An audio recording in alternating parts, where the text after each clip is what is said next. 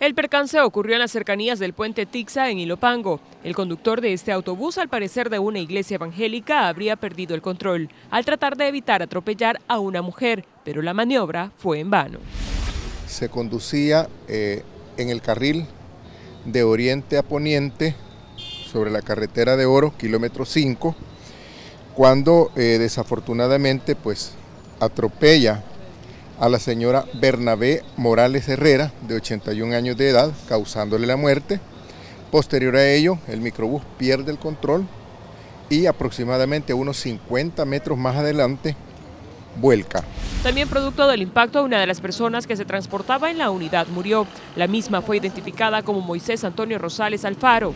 Y también resultando en este mismo accidente un aproximado de 19 personas lesionadas que se encuentran en este momento siendo asistidas en diferentes centros asistenciales de la zona.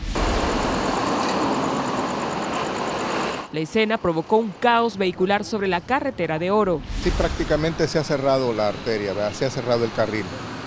Únicamente se ha, habilitado el, carril que acostumbradamente es de, de poniente a oriente y se han habilitado pues en ambos sentidos. Pues tener precaución a la hora de manejar es una gran responsabilidad llevar al volante y, y ser precavido a la hora que vemos un peatón a cruzar la calle.